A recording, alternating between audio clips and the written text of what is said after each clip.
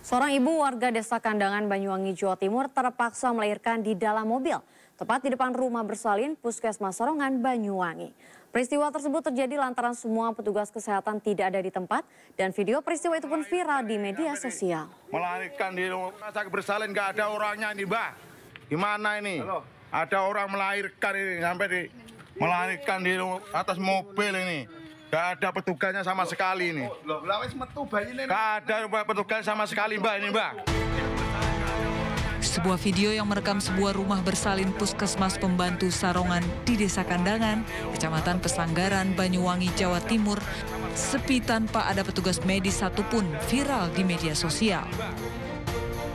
Perekam video merupakan keluarga dari pasien yang akan melahirkan. Namun warga tersebut kecewa ketika sampai ke rumah bersalin mereka tidak menemukan petugas medis satupun. Akibat kejadian itu pasien akhirnya melahirkan di dalam mobil. Keluarga pasien sempat emosi karena petugas jaga puskesmas baru datang setelah pasien melahirkan di dalam mobil tanpa ada pertolongan medis. Sama mana rumahnya? Saya laporkan sama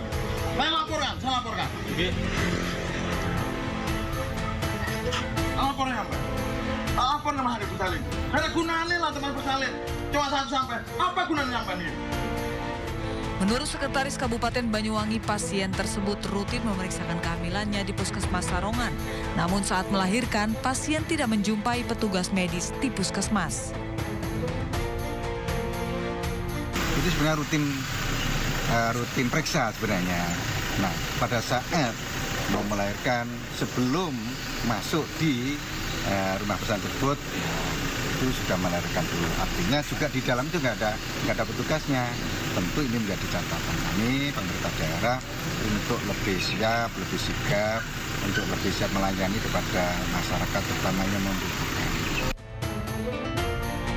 Usai melahirkan di dalam mobil, ibu dan bayi mendapat perawatan medis di rumah bersalin Puskesmas Pembantu Sarongan. Atas peristiwa itu, pemerintah daerah akan mengevaluasi agar tidak terjadi lagi peristiwa serupa. Dari Banyuwangi, Jawa Timur, Eris Utomo, iNews melaporkan.